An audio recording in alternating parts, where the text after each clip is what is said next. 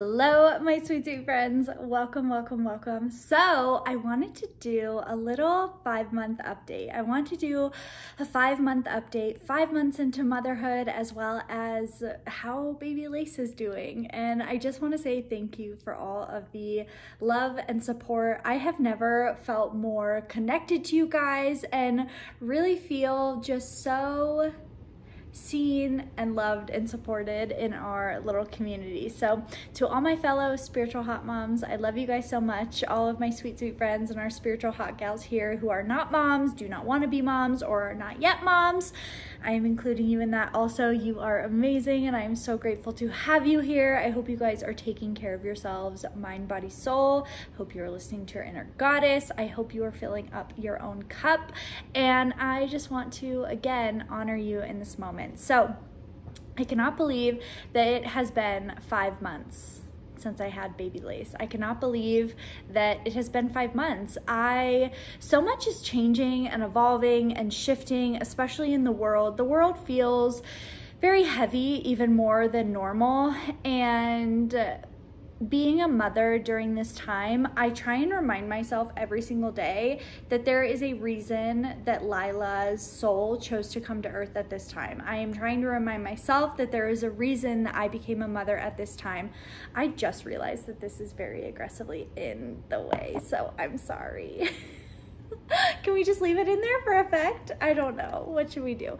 But I, now I'm like, I don't know. Okay, we'll just Let's just skadoodle, skedaddle, skedeet, skadoot, skedat. Cool, cool, cool, cool. We'll leave them in there. We got flowers, flowers, a rose quartz, a bunch of crystals back here.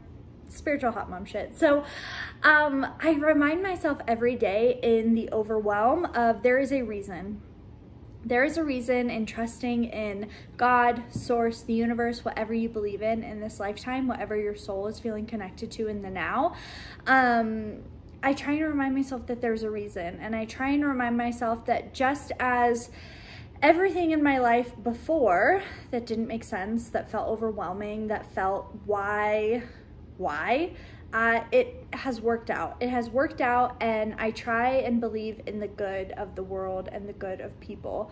So, really moving through that during this time has been interesting. And I just, during these past five months, I have never felt more grateful for the work and the effort in my life that I put into healing my own shit to to put it very frankly. And I've never been more thankful to my past self for doing the things I did that got me here now. And one of the most healing things that I've ever done in my life um, was become a mother. And the act of healing, this idea of healing that we talk about all the time, that we see online, blah, blah, blah, um, I think it becomes really overwhelming and I think it becomes daunting to people. So whether you are in a season in your life where you are focused on thriving or you are just getting by, know that that season is perfect for you right now. And to not judge yourself or base where you should be at on other people or other parts of, you know, other strangers' journeys. Um, and when I say that it's been the most healing thing that I've ever done, I mean that becoming a mother, like I shared in my birth story, birth was a portal to a spiritual experience that I did not know was going to happen. I'd always heard that birth was very spiritual. And it's so fucking true. It's so true. I motherhood is a daily practice of unconditional love. Motherhood is a daily practice of being patient. Motherhood is a daily practice of honoring your own nervous system and taking care of yourself and, you know, knowing that at the end of the day, it ultimately is our own responsibility to self-regulate, to check in with ourselves, mind, body, soul of what we're needing, of knowing that it's nobody's fault but our own if we're not putting ourselves like in this position to take care of ourselves the way that we need to be. And through that has really gotten me to look at what I needed as a child that I wasn't getting and to really look at where I felt that I needed to still be remothered. I made a video while I was pregnant about becoming a mother without having a mother. I like these flowers in the shot, why not? Um, I did make a video like that, so I will link that down below. And I just want to say that I know that the work of remothering yourself, the work of inner child healing can feel overwhelming, but I want to remind you that it's just simply a daily practice. It is a daily practice of showing up for your inner child the way that you needed to be shown up for. And with being a mother now, it's in these moments of feeling overwhelmed, of feeling out like overtouched, of feeling like very frustrated and agitated and my frustration and my aggravation is never at my daughter. It's always just at like you know kind of myself because the only time that i'm feeling those feelings and those emotions are the days that i'm not making space for myself in my life. And when i say making space for myself in my life i thought we had a baby wake up. Um, when i say making space for myself in my life i mean in the sense and in the area the energy of knowing and through the past five months I've really realized that it is my job to make space for myself in my life. Yes, you know, I have my beautiful partner to help me and support me when I need it. I have my family if I need it. I can, you know, call upon people if I need it, which I understand is a gift and, you know, something that not everyone has. So I do say that and honor that also. Um, and I've realized that ultimately the days that I don't get up and I don't make space for myself in my life, um, and that's where I've done it. That's how I've done it. I have gotten up early most days and that's the time that I do my little, you know, morning meditation. I do my quickie journaling and I just take time to really breathe into the day before uh, someone else is the focus of my day. And, you know, that's really for me what motherhood has become. It is the times that my baby is awake, she comes first. And knowing that that is okay, knowing that, you know, that doesn't make me lazy or sloppy when, you know, she's coming before myself and if I want to get ready for the day, if I want to make sure that I have food ready for myself during the day, then I get up early and I do that or I try and balance it.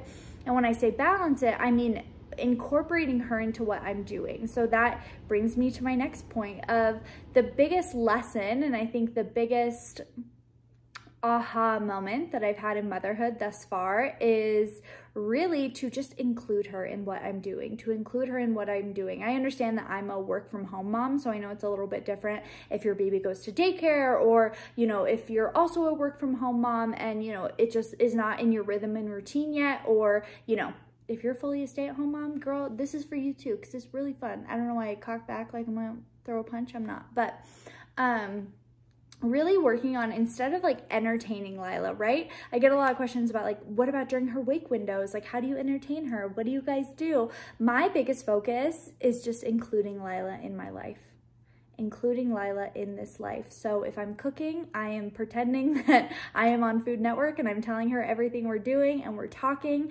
and making sure that I, you know, if I if I have a book that I'm reading, if I have a book that I want to read, I read the book to Lila also.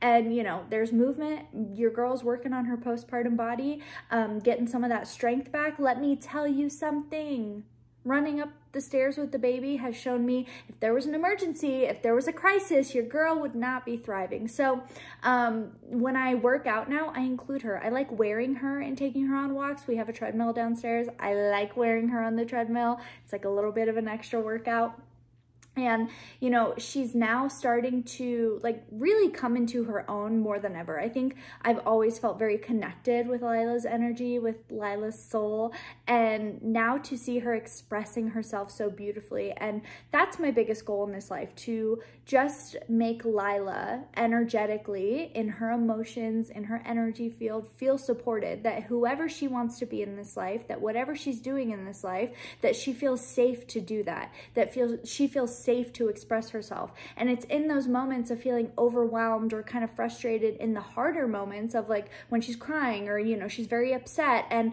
needing to remain calm to be the grounded energy for her. Um, I mean, that's hard. That's hard. Our generation, I think, um, being a millennial mother, I think is a very different experience. And it's, it's, it's super interesting to witness and just live in and be in. Um, it's something that my grandma and I talk about a lot. Um, just kind of the expectations that were on her as a mother, um, that were on my mom as a mother, and that were on, you know, my great grandma. Would that be my great grandma? Yes, my great grandma. So, you know, really just thinking about how different everything is and also picking and choosing what feels good and valid for me of what type of mother do I want to be? Not what type of mother do I see online and I think is the perfect mother or what do I think society like thinks I should do or oh, I have to do this or I should do this. It's really asking myself every day like what mother does Lila need and knowing that our children chose us for a reason. So to stay the truest version of you is the greatest gift that we can give to our children and to make sure that we are staying true to ourselves and our best version, our highest version of self in the tough moments also, I think is super valid. And I think just owning and honoring that like there are super hard moments and there those are the challenging moments. That is where the spiritual hot mom shit comes in of like needing to take a deep breath and just kind of know that it's just a moment it is just a moment. And there's there's going to be moments continuously. And even before motherhood there were moments where i needed to take a deep breath where my feelings could not come first where i was putting someone else above me. And that's okay. There are going to be seasons in life where you know your moments of self are carved out and created by you if that makes sense. So really looking at what's working, what feels good. Miss Lila has, um, I shared this in one of the last vlogs that she's been waking up again in the middle of the night. She was sleeping through the night um, and now she started waking up again. Totally fine by me. Um, I personally am not going to do the sleep training thing. I think that I, it is better for our family for me just to trust her to trust her and know that if she is waking up it's for a reason whether it be she's hungry she needs a change she needs some love, needs a hug. Um, I think and feel and know that simply just showing up every single day has taken a lot of the anxiety and stress off my plate. And when I say showing up every single day, I mean instead of being so rigid and focused on trying to micromanage this chapter of life, just being open to whatever is going to be, to being open to this beautiful new person in my life who just feels like my heart outside my body and trusting that this beautiful body, Lila, that I created has her own soul, her own heart, her own desires, her own dreams. And what if I was just open to supporting that and knowing that the nights that I'm tired, the days that I'm feeling, you know, a little burnt out, the days that I'm feeling overwhelmed or outtouched, that they're not going to last forever. They're not going to last forever. And you know, on, you know, Lila's going through a phase right now where she prefers to contact nap. And in the very beginning of the newborn days, we didn't do a lot of contact napping. So honestly, I'm soaking them up right now. I am soaking them up every ounce that I can. And I talked about this on the Spiritual Hot Mom Shit podcast. If you guys have not subscribed to the podcast, make sure to go check that out. But um, I would rather make less money right now and be quote unquote less successful or go less far in my career um, to put Lila first for a little bit.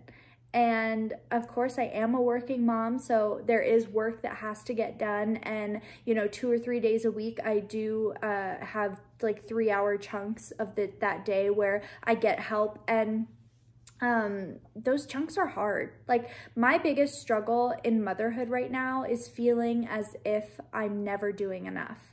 As if i'm never doing enough and to feel that whether i had her in daycare whether i had james at home and quitting his job so i could work full time whether you know i hired a nanny whether it was my family helping me um to know that there's there's always going to be someone saying something about it. And honestly like i'm a real person. And when people make digs about you know my family helping me or when people make digs about like what i'm deciding to do with my child it's like it does hurt. It hurts in a very different way and different level of to know that like it's already something that I struggle with, right? Like, I don't know a single mom who doesn't kind of deal with that, of always feeling as if there's one area that you're just not juggling correctly. And that's what it feels like most days. It feels like a juggle, but honestly, it feels good also. And I think that's what my biggest thing is of,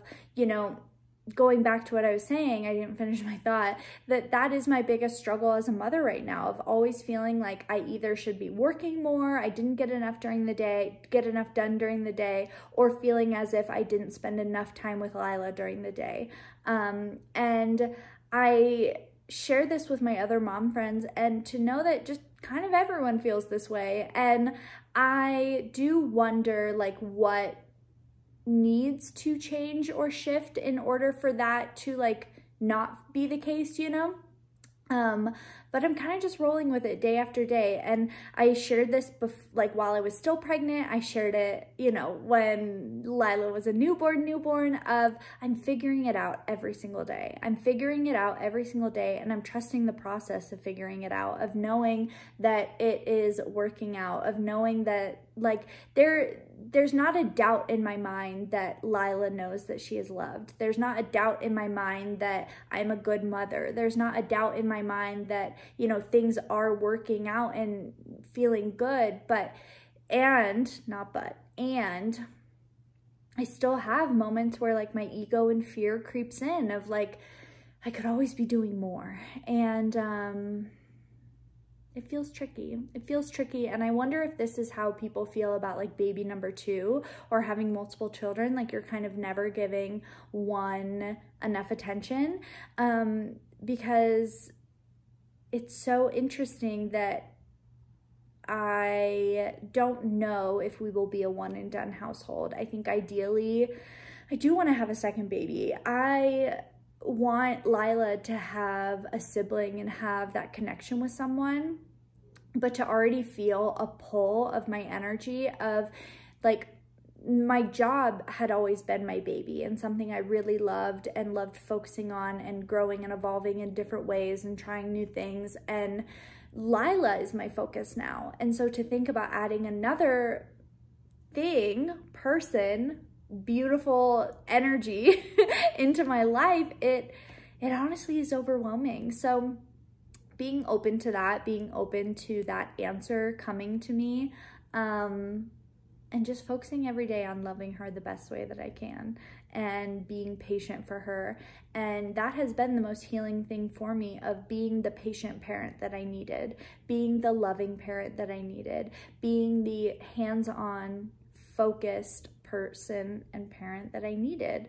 Um, and I think that's different for everyone. Everyone has different types of parenting that they engage in and whatever is right for your family is right for your family just because i do something or don't do something does not mean it's right or wrong i think that you know even when i share like favorites videos if i love a product and you hated it neither of us are wrong if you if i share something that i absolutely hate and you love it, it doesn't mean you're wrong.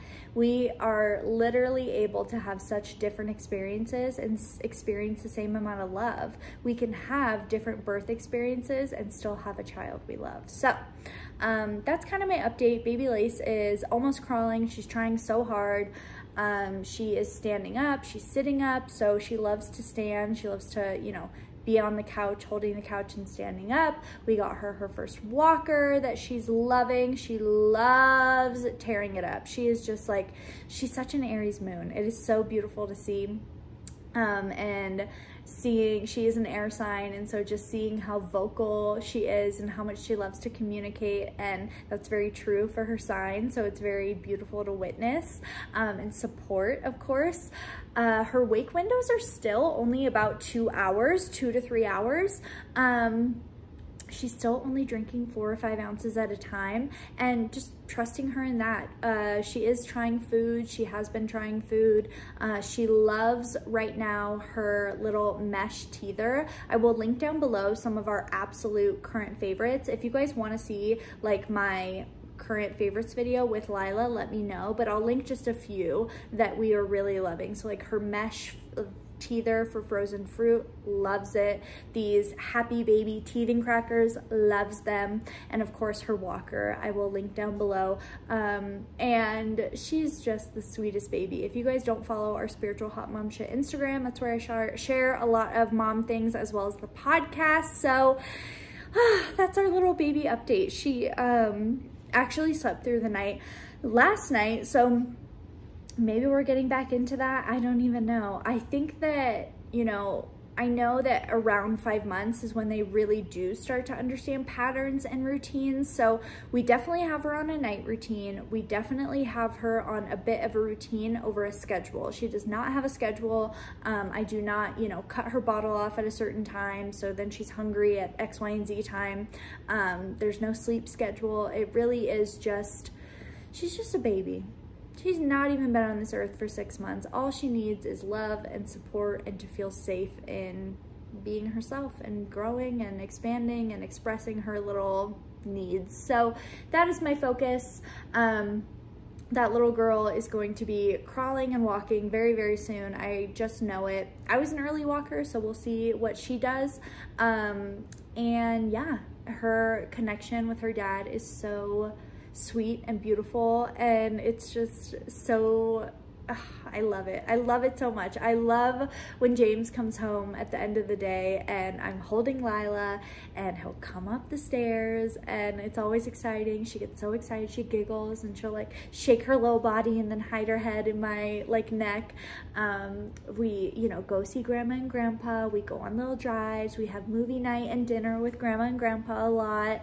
Um, so that's very fun and yeah, just really soaking up all these like baby days with Lila and the newborn days and, you know, soaking up as much time as I can with my grandparents while they're still here. It's so funny. I see like a lot of, or I don't see a lot of negative comments, but like I see the dig that people try and make about my grandparents and it's just so funny because like I've always spent a lot of time with them. I've always like spent a lot of time with them, been at their house. Like my grandma really is like my best friend and one of my best friends and my grandpa is, you know, my dad figure in my life and I've been close to them my whole life. So it's very interesting to see now that people have a problem with it. Um, very surprising. But yeah, I've always seen them. I've always been very glued to their hip and I love it. I love our connection and as I've gotten older, it just is so fun. And you know, now that I am older, it's the, as I'm getting older and they're getting older, the roles have changed a bit and I'm okay with that. I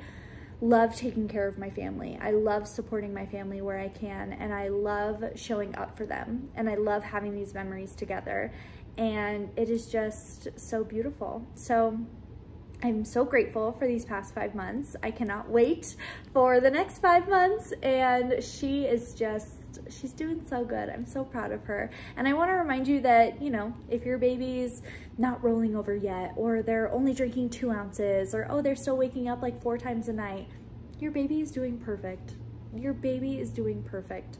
Um, literally talk to your doctor, make sure you feel supported, ask for help if you need it, ask for, you know, emotional help if you need it.